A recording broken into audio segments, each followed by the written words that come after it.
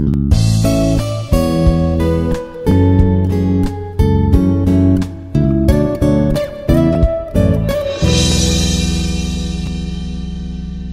everybody, this is Indira, Assistant Professor of Institute of Aeronautical Engineering, Department of Mathematics. Today we are going to learn the definitions and terminology of the second part of the matrices that is for linear transformations. We all know that before starting any topic, the definitions and notations and the terminology that we have to get it acquainted so that uh, we can understand the concept very clearly. So the very first definition of the linear transformation is what is an eigenvalue? An eigenvalue are the special set of sectors, scalars associated with linear system of equations that are sometimes also known as characteristic roots or proper values or latent values. There are three names for eigenvalues that we can call it as either characteristic roots or characteristic values or proper values or latent roots. All these four are one and the same. Next, going to the eigenvectors. What are the eigenvectors? Eigenvectors of a matrix is a vector represented by a matrix X such that when X is multiplied with matrix A, then the direction of the resultant matrix remains the same vector. I have a good example to understand these two eigenvalues and eigenvectors. Suppose we have a two uh, linear equation. Suppose u is a linear equation from x plus 2y and uh, v is a equation from x plus x plus 4y.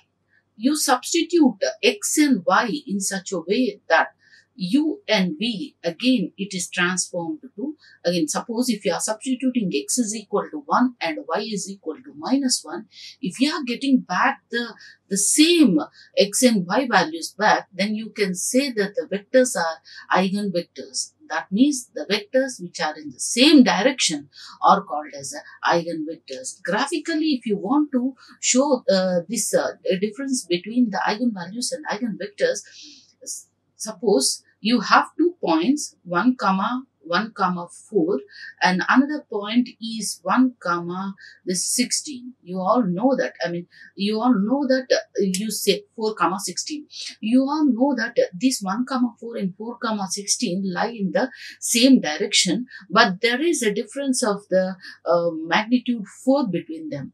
So the vectors which are in the same direction are said to be the eigen vectors so the the scalar with which they are multiplied is called as an eigenvalue. Suppose you have a, a, a lambda is equal to ax is equal to lambda x ax is equal to lambda x where a is a matrix and x is the this is a variable matrix a matrix when it is multiplied with a variable matrix if you could able to get the lambda value as common then you can tell that though this lambda value is a, a scalar quantity and it is called as a eigen uh, eigen value so next going to the next definition what is a characteristic matrix? Eigen values are also called as a uh, eigenvalues but the, the matrix uh, which is used to get the eigen values is called as a characteristic matrix. And it is given by suppose a is any square matrix a is any square matrix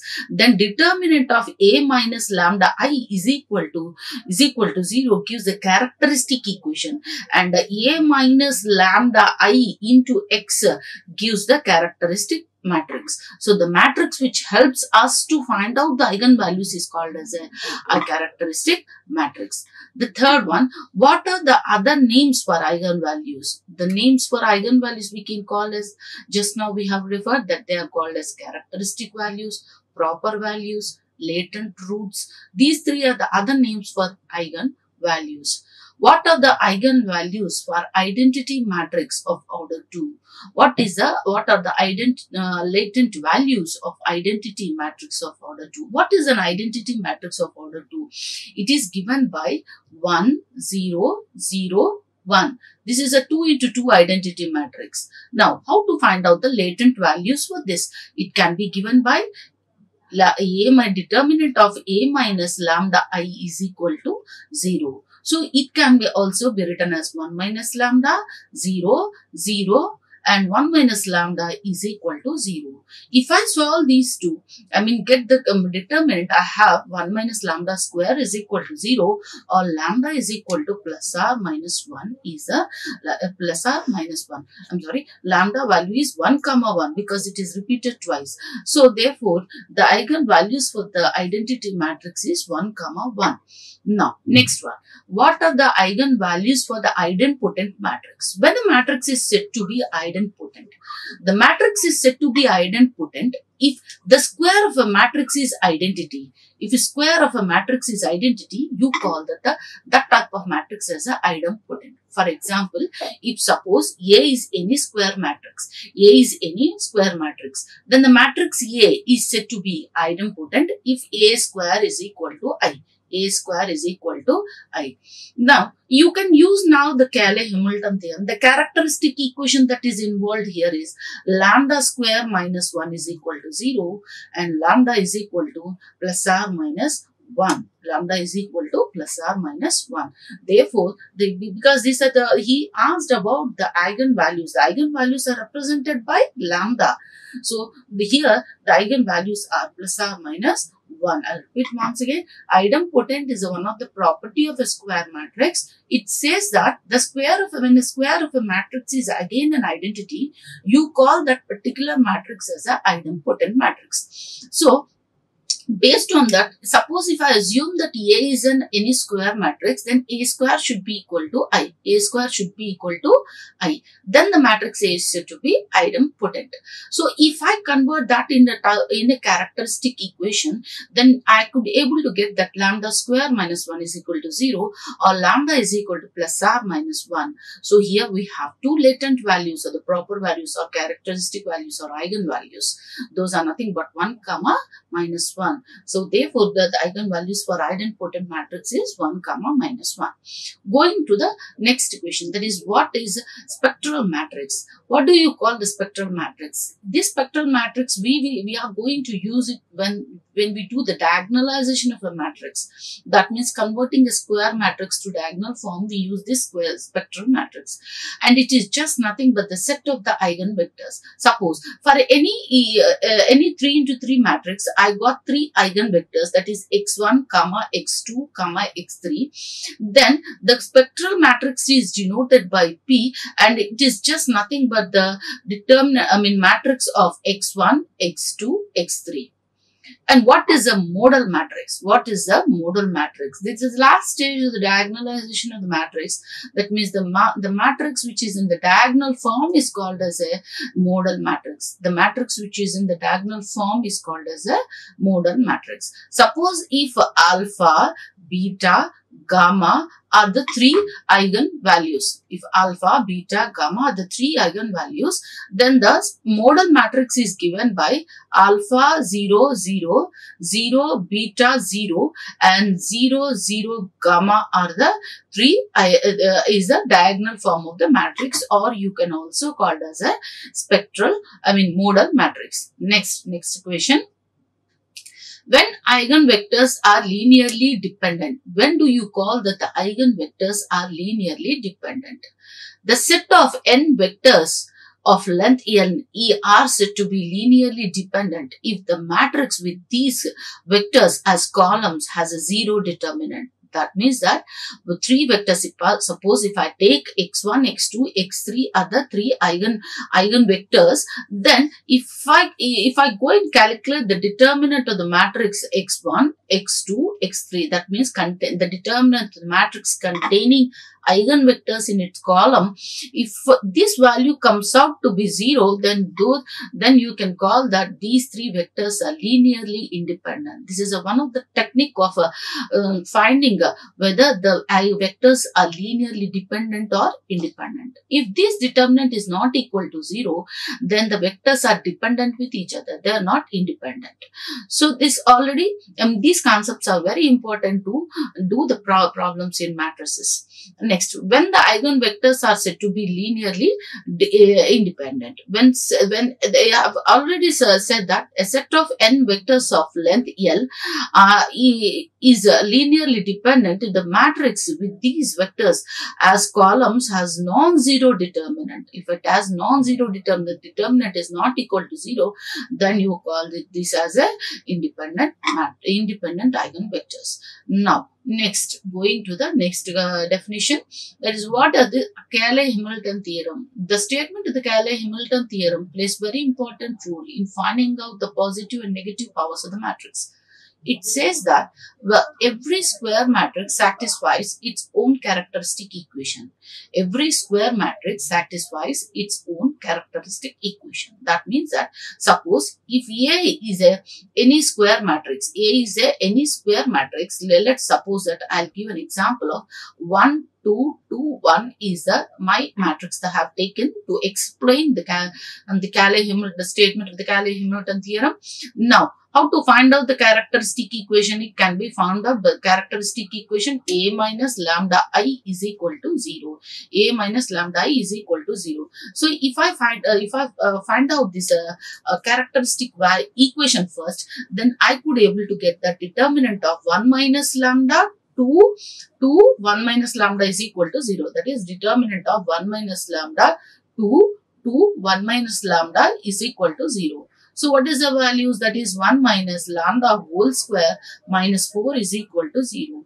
And the characteristic equation is lambda square plus 1 minus 2 lambda minus 4 is equal to 0 or lambda square minus 2 lambda minus 3 is equal to 0. So this Cayley-Hamilton theorem says that in this characteristic equation, if you substitute, uh, if you replace lambda in, uh, in terms of a, that is a square minus 2a minus 3i and verify, definitely it reduces to the zero matrix. So that is the meaning of that every square matrix satisfies its characteristic equation. Now, how it is helpful to find out the uh, higher negative and positive powers of the matrix. Suppose if you want a to the power of 3, just we can multiply this equation with a to the power a on both sides and get the other terms on the left right hand side and a cube can be conveniently calculated and even a inverse a to the power of minus 1 a to the power of minus 2 all these values can be easily calculated if you know the characteristic equation and apply the Cayley-Hamilton theorem. Now, next definition what are the uses of uh, Cayley-Hamilton theorem? What are the uses of Cayley-Hamilton theorem? It says that we can find higher negative and positive powers of the matrix. We are, and one more method is there to find out the negative, uh, negative powers of the matrix that is Gauss-Jordan method. But in the Gauss-Jordan method, of course, it is used to find out the uh, inverse of the matrix with higher order. That is the one uh, uh e easiest model of uh, getting the inverse of the matrix. But still, here you can find the higher negative powers of the matrix by using Cayley-Hamilton theorem. So the, the uses of the Cayley-Hamilton theorem is to find out the positive and negative powers of the given square matrix. Next, if all the eigenvalues are distinct, if all the eigenvalues are distinct, then eigenvectors are what? What is the relationship if all the eigenvalues are different with each other, distinct different with each other? Then they are linearly dependent, then they are linearly dependent. So, if all the eigenvalues are distinct, then eigenvectors are linearly dependent. So, going to the next definition, what is the demerit of the Cayley-Hamilton theorem? What is the demerit of the Cayley-Hamilton theorem? It says that uh, every square matrix uh, is satisfied by its own characteristic equation but there is a demerit of Cayley-Hamilton theorem. That means that suppose if you want to find out the a to the power of 5, a to the power of 5 value, then we need all pre-power matrices. The pre-power matrices means we should have a square, a cube and a to the power of 4 values also to find out a to the power of 5. So that is the only demerit of the Cayley-Hamilton theorem. So once again, it requires all pre-power matrices to find any power of the matrix. Suppose if I want a to the power of minus 3, then I want a to the power of minus 2, a to the power of minus 1 also with me to calculate a to the power of minus 3. So that is the meaning of the, uh, the, uh, the having the demerit by the Cayley-Hamilton theorem. Next, what is the determinant of the matrix with two eigenvectors with two equal eigenvectors. Suppose if I have two e equal eigenvectors, let us suppose that I I'll show this uh, definition with example. Suppose if I take 1, 2, 3, 1, 2, 3, two equal eigenvectors and another one I'm taking the different eigenvector, then if I calculate the determinant of the matrix 1 into 2 minus uh, that is nothing but uh, 0, right? Okay. And again, minus 1 into 6 minus 6, 6 minus 6 and uh, minus 1 into 6 minus 6. So you should get it as 0. That is the meaning of the, what is the determinant of the two equal eigenvectors. When two e, when when when you have uh, the matrices two uh, equal eigenvectors, then it comes out. I here better I'll take it as 0 here so that I can get the easy easiest value that is 2 minus that is 0 minus 0 which is equal to 0. So you can say that the when the matrix have the two uh, equal eigenvectors, then the determinant will be equal to 0. Next, how to find the characteristic equation of the matrix. How to find the characteristic equation of matrix A. So, if suppose A is a given matrix, A is a given matrix. Now, how to find out the characteristic equation? Characteristic equation is just nothing but determinant of A minus lambda I is equal to 0. A minus lambda I is equal to 0. Suppose A is equal to the matrix 1, 2, 3, 4. I'm taking simple 2 into 2 matrix.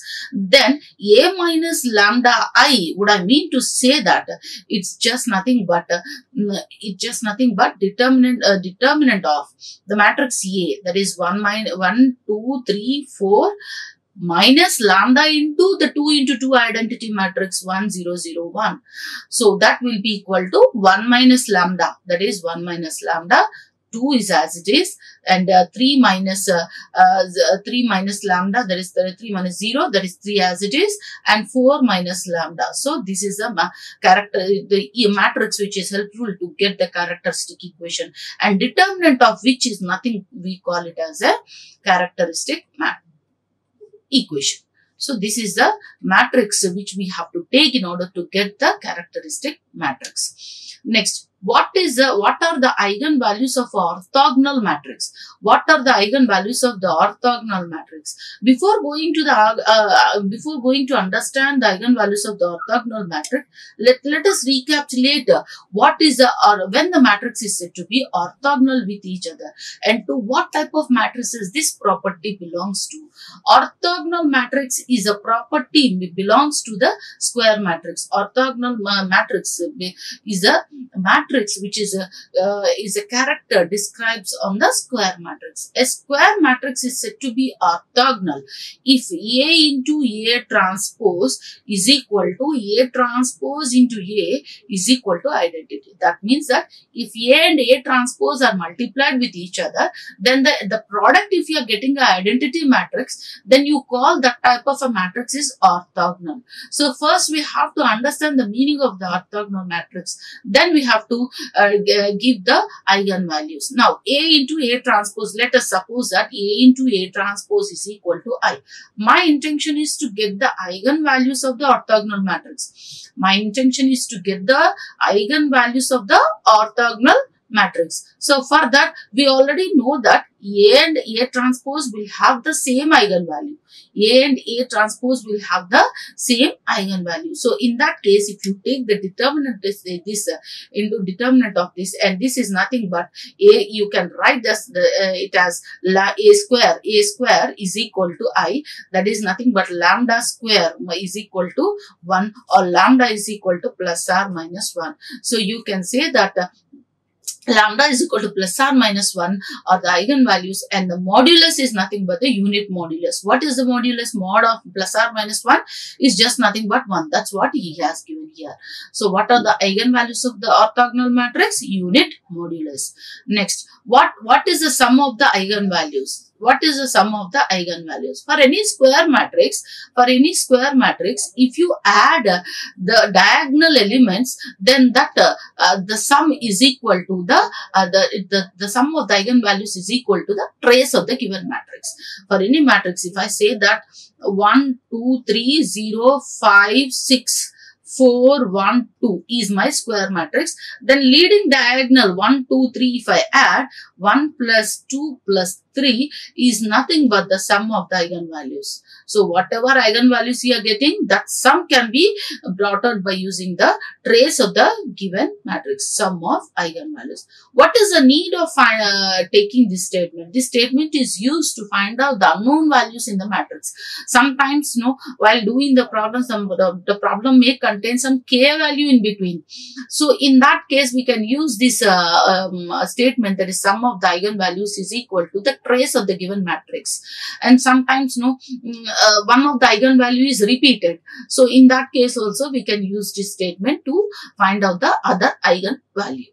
Next, what is the product of the eigenvalue? The product of the eigenvalue is just nothing but the, is just nothing but the determinant of the matrix. The product of the eigenvalue is just nothing but the determinant of the matrix. Product means suppose alpha beta and gamma are the eigenvalues are the eigenvalues for any matrix any 3 into 3 matrix. Then the product of the eigenvalues that is alpha into beta into gamma should be equal to the determinant of the matrix. So that is the meaning that the product of the eigenvalues is the determinant of the matrix okay next going to the next definition if 1 2 3 are the eigenvalues of capital a if 1 2 3 are the eigenvalues of capital A, then what are the eigenvalues of A square? These are all the properties of the eigenvalues. If suppose if eigenvalues of A are there with me, it is possible to find out the eigenvalues of some scalar, uh, the, uh, the matrix multiplied by some scalar quantity like Ka or you, I can able to find out the uh, eigenvalues of A cube, A to the power of 5, so on and so forth. So for this uh, or adjoint of A like that. So here he asks that 1, 2, 3 are the eigenvalues of A. Then eigenvalues of A square is nothing but 1 square, 2 square, 3 square. It is based on the principle that if A is, if lambda is an eigenvalue of A, then the, if lambda is an eigenvalue of A, then lambda to the power of n is an eigenvalue of A to the power of n. Lambda to the power of n is an eigenvalue of A to the power of n. So that is the meaning here. So every in each and every definition we are going to re uh, recapitulate the definitions and terminologies and the notations that are used in the linear transformations. Now going to the next one. If 1, 2, 3 are the eigenvalues of A, then eigenvalues of 2A are dash. Suppose if you if I have okay uh, some lambda is an eigenvalue so suppose lambda is an lambda is an eigenvalue of a. Lambda is an eigenvalue of a. Then what is the lambda uh, eigenvalue eigenvalue of k into k into a where k is some scalar quantity or a constant. So what is the eigenvalue of k into a? So the eigenvalue eigenvalue of k into a uh, is nothing but is nothing but k lambda lambda. So based on this property, I can give, so 1, 2, 3 are the eigenvalues of A. 1, 2, 3 are the eigenvalues of A. Then what are the eigenvalues of 2A? Just you multiply that each and eigenvalue with 2. So 2 into 1, 2 into 2, 2 into 3. So that comes out to be 2, 4, 6. So 2, 4, 6 are the eigenvalues of the matrix uh, 2A. Similarly, next question, if 1, 2, 3 are the eigenvalues of A, then eigenvalues of A inverse are. The, even this also based on the one of the property of an eigenvalue, understanding the eigenvalue properly. Suppose if I say that lambda is an eigenvalue, eigenvalue of A, then lambda inverse is an eigenvalue of A inverse. So A inverse will have the inverse of the, the eigenvalues of A. So if you put that in the here, so 1, 2, 3 are the eigenvalues of A, then eigenvalues of A inverse are just nothing but 1 by 2, 1 by 3 and 1 by 1 by 1 which is equal to 2, 1 by 2, 1 by 3 and 1 are the eigenvalues for A inverse. So, all these helps to recapitulate the uh, properties of the eigenvalues. Next, if 1, 2, 3 are the eigenvalues of A, then eigenvalues of A plus I. So, here once again, this, uh, the next property of uh, eigenvalue which says that if lambda is an eigenvalue of A, then lambda plus K, where K is some constant, is an eigenvalue of A plus K. A plus K okay eigenvalue of a plus k. So based on this i have so 1 2 3 are the eigenvalues of a. If 1 2 3 are the eigenvalues of a then eigenvalue of a plus i are nothing but 2 plus that is 2 uh, 1 plus 1 1 plus 1, 3 plus, I mean 1 plus 2 to 3 plus 1 and 4 plus 1. So which is nothing but 3, 4 and 5. So like that I can get the eigenvalue of A plus uh, A plus I. Here I is nothing but the identity here. Next going to the next uh, one. If 1, 2, 3 are the eigenvalues of A, then eigenvalues of A minus 2i.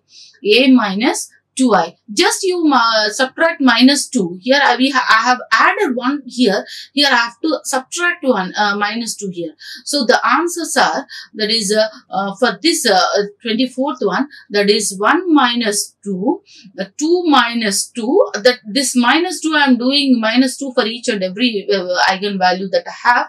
So 2 minus 3 minus 2 that is minus 1, 0, 1. So, minus 1, 0, 1 are the eigenvalues of the matrix A minus 2i. So, there is no need to find out A minus 2i and go by the process of finding out the eigen uh, eigenvalues. We can directly get the eigenvalues of any algebraic uh, relationship of A if you know the properties uh, clearly. Next, find the eigenvalues of, for the matrix 2 into 2 matrix sum matrix he has given with 3 uh, minus 3 and 5 eigenvalues of the matrix. So when so if I uh, matrix is not given here, so let let us assume the matrix what might be the matrix here lambda plus 3 into lambda Uh, minus 5 is equal to 0 or lambda minus 5 lambda plus 3 3 plus 3 lambda minus 15 is equal to 0. So lambda square minus 2 lambda minus 15 is equal to 0 might be the equation here. I mean characteristic equation. So substituting that we could able to get the minus 3 minus lambda. What is the procedure of getting the eigenvalues? Eigenvalues can be obtained by using determinant of a minus lambda is equal to 0. Determinant of a minus lambda is equal to 0. Next, Find the eigenvectors of the uh, eigenvectors for the value lambda is equal to 2 for the matrix. Again, the matrix is not given here, but we can say that find the eigenvalues for lambda. Particularly, suppose if eigenvalue is known, how to find out the eigenvector? If eigenvalue is known, how to find out the eigenvector? So, the procedure is, if lambda is equal to some value is there, some 2 is an eigenvalue, how to find out the eigenvector? Now, I need to consider the matrix A minus lambda i into x is equal to 0. There I have to substitute uh, lambda is equal to 2. Uh, there I have to substitute substitute lambda is equal to 2 and reduce that to the echelon form and reduce that to the echelon form and solving the equations, we uh, linear equations, we can we could able to get the x and y values and the, those are nothing but the eigen um, vectors for the given eigenvalue. So those are nothing but the eigenvectors for the given eigenvalues. So that is the procedure of finding out the eigenvectors for a matrix for particular eigenvalue. Next, what is the necessary condition for, for a matrix say A to be diagonalizable. So, because diagonalization, diagonalization of a matrix is a very lengthy process. So, before starting the problem itself, we should know whether the problem can be, the, the matrix can be diagonalizable or not. Otherwise, if you go on doing without uh, uh, checking it out, the time may go waste. So, here we need to check ourselves whether the particular matrix can be diagonalizable or not. How to check it? If uh, the matrix A has n independent, linearly independent eigenvectors, then that type of a matrix is always diagonalizable. That means that for uh, lambda values, the for distinct lambda values, we should get dis, distinct eigenvectors. Then conveniently, those type of matrices are always diagonalizable. So that is the meaning here. Next, what is the geometric multiplicity of, lam of lambda, e, uh, lambda, if, and uh, is it uh, a multiplicity as a roots of the characteristic polynomial of A, where lambda is an eigenvalue of A? Is it true or false? It is false. Uh, what is the geometric multiplicity and what is algebraic multiplicity? Algebraic multiplicity and geometric multiplicity plays very important role when while we are diagonalizing the given matrices. So geometric multiplicity is just nothing but the number of the linearly independent vectors that are framed by finding out the eigenvectors. So sometimes you know we have only one equation. The number of vector uh, values that we need to find it out is 3. So in that case we can assume uh, two values that is y1 and uh, y and z values and get x in terms of y and z. So the what happens? So we are going to get two different eigenvectors. So in that way, the eigenvectors are uh, the number of times. I mean the uh, number number of linearly dependent eigenvectors. These are all dependent eigenvectors because based on k1 and k2, the value of x will belong. So therefore, you can say that all the three vectors are dependent with each other. So geometric multiplicity is just nothing but the number of linearly um, dependent vectors that are framed uh, while finding out the eigen vectors. So next is uh, if A is a diagonalizable, if A is diagonalizable, then A to the power of n. How to find out? Diagonal in diagonalization process, it's uh, the one of the usage of the diagonalization process is we can able to find out the powers of the matrix. So how you could able to suppose A is there, I have diagonalized. D is the modal matrix I got it. Then how to get the A uh, to the power of n? A to the power of n is equal to I can write it as P, P, P into D to the power of n into P inverse, where P is called as a spectral matrix. That is a set of the eigenvectors. P is called as a spectral matrix. That is a set of eigenvectors. And D is called as a D is called as a modal matrix. D is called as a modal matrix. D is called as a modal matrix. So that is a modal matrix in, in the sense it just contains the, the eigenvalues in the in the leading diagonal. It contains the eigenvalues in the leading diagonal and the rest of all elements are zeros. Then it is called as a diagonal form. Next, uh, the computation of the powers uh, of the ma matrix becomes faster the computation of the powers of the mat, uh, matrix become faster if it is diagonalizable. True or false? Yes of course. If the the computation of the powers becomes very easy if you if you uh, do the diagonalization. Because in the diagonalization we have only the eigenvalues in the di leading diagonal and the rest of all elements are zero. So it is very convenient to uh, find out the higher powers of the matrix by using this. So it is true statement. Next determine determine the algebraic and uh, geometric multiplicity of the matrix. Now again, again we have what is a algebraic multiplicity? Algebraic multiplicity is number of times an eigenvalue is repeated. Sometimes no, for uh, some mat uh, matrices we'll get the eigenvalues as 1 and 1, 1, 2. So 1, 1, 1 is an eigenvalue value which is repeated 2, which is repeated 2 times. So algebraic multiplicity of lambda is equal to 1 is 2. Again, I'll repeat it. The algebraic multiplicity specifies number of times an eigenvalue is repeated. So for number, uh, if uh, the if suppose if I have for any matrix like 2, 2, 3, 2, 2, 3, then eigenvalue 2 is repeated twice. So the you can say that the algebraic multiplicity is there 2. Okay, next, given P is, P, P is P and D matrix, how to find out the A cube matrix?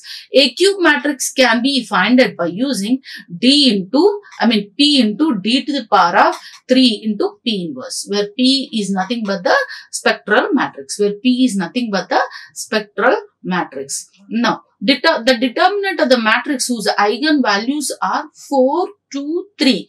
So, if the eigenvalues are known, is it possible to find out the determinant of the matrix without knowing the matrix itself? Yes, it is possible to find out.